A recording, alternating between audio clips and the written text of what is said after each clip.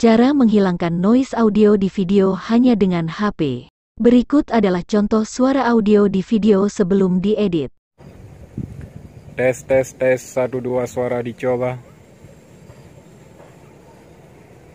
Dan berikut ini adalah contoh suara audio di video setelah diedit. Tes tes tes satu dua suara dicoba. Halo YouTuber, jumpa lagi bersama saya di channel kita Mas Nur Tutorial. Jadi di video kali ini saya ingin berbagi tutorial atau cara menghilangkan suara noise audio hanya menggunakan HP. Ada tiga tahapan menghilangkan noise audio di video. 1. Mengubah format video ke format audio atau WAV. 2. Menghilangkan noise audio dengan aplikasi WavePad. 3. Menggabungkan ulang audio dengan video asli. Baik teman-teman langsung saja ke tutorialnya. Langkah pertama bukalah aplikasi Video Converter. Aplikasi ini bisa kamu dapatkan secara gratis di Play Store. Setelah aplikasinya terbuka, pilih dan klik pada menu Video to Audio. Kemudian pilihlah video yang akan kamu hilangkan noise audio pada video tersebut dan klik Done. Untuk format audio pilihlah dengan format WAV dan klik tanda centang. Ketiklah nama file audio dan kemudian klik Save.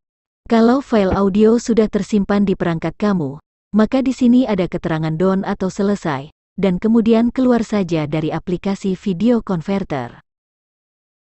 Untuk memastikan file audio tersimpan atau tidak, bukalah aplikasi Manager File, klik pada Internal, cari dan pilih folder musik, kemudian pilih folder video editor audio, dan klik file audionya. Tes tes tes satu dua suara dicoba. Kalau sudah dicek, maka keluar saja dari aplikasi manager file, dan selanjutnya adalah ketahapan dua yaitu menghilangkan noise audio tersebut. Caranya bukalah aplikasi WavePad.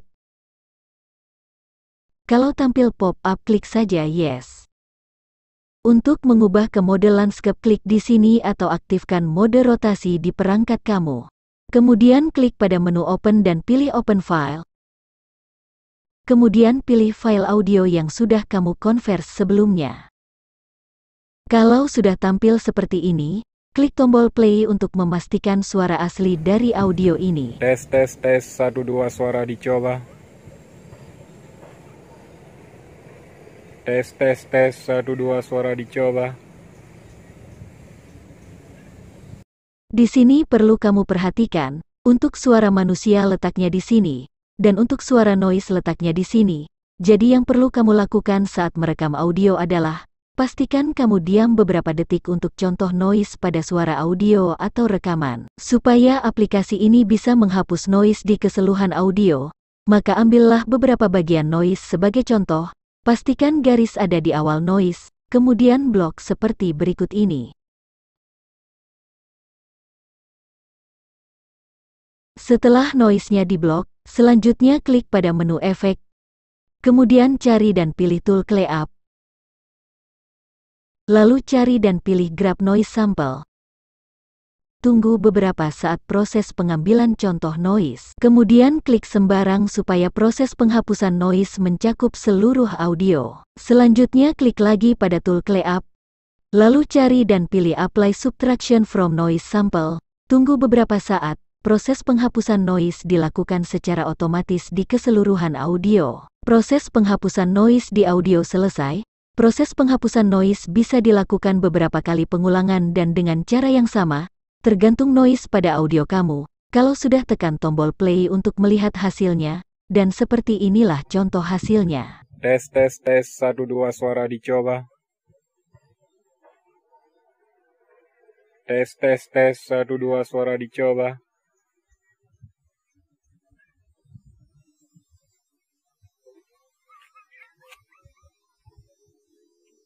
Tes, tes, tes, satu dua suara dicoba.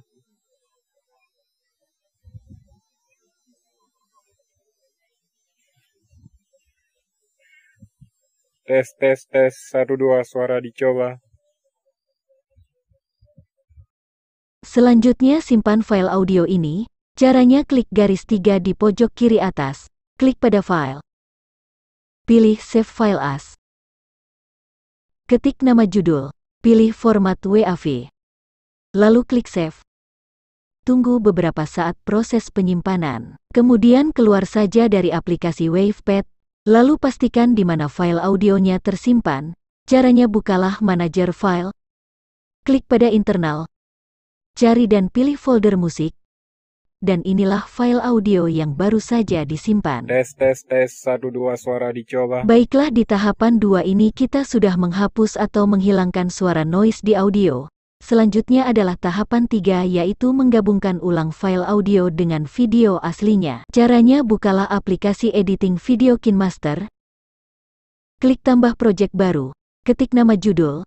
Pilih aspek ratio 16 banding 9, lalu klik buat. Kemudian cari dan pilih video mentahan atau video asli daripada audio yang sudah kamu hilangkan noise-nya. Lalu klik project video, cari dan pilih ekstrak audio, dan tekan play untuk melihat hasil asli daripada audio aslinya. Tes tes tes 1 2 suara dicoba. Tes tes tes 1 2 suara dicoba.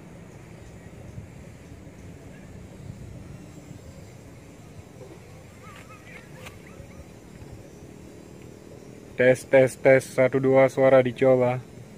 Ini adalah audio asli daripada video ini, masih ada noise-nya. Untuk menambahkan audio yang sudah kita hapus noise-nya, maka hapuslah terlebih dulu audio asli ini.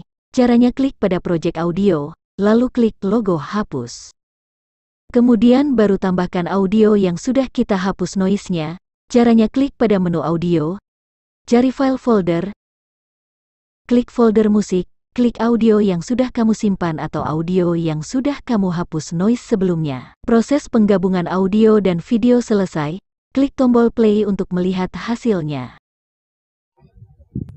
Tes tes tes 1 2 suara dicoba. Tes tes tes 1 2 suara dicoba.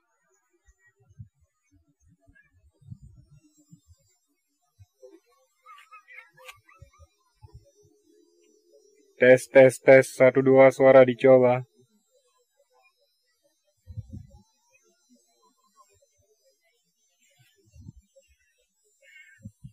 Tes tes tes 1 2 suara dicoba. Baiklah proses penghapusan noise audio dan penggabungan audio dan video selesai. Untuk menyimpannya klik logo save dan klik simpan sebagai video, tunggu sampai proses penyimpanan selesai. Kemudian keluar dari aplikasi KineMaster, bukalah galeri video Anda, klik di menu album, klik lainnya, klik folder KineMaster, dan klik video yang baru saja kamu simpan, dan seperti inilah hasil akhirnya. Noise audio sudah hilang atau videonya bersih dari suara noise. Tes tes tes 1 2 suara dicoba. Tes tes tes 1 2 suara dicoba.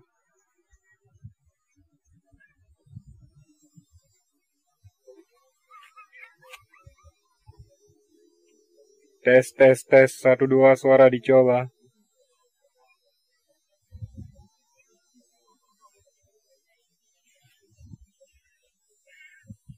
Tes tes tes 1 2 suara dicoba. Baiklah YouTuber dan konten kreator sekalian, begitulah cara menghilangkan suara noise audio di video hanya dengan HP.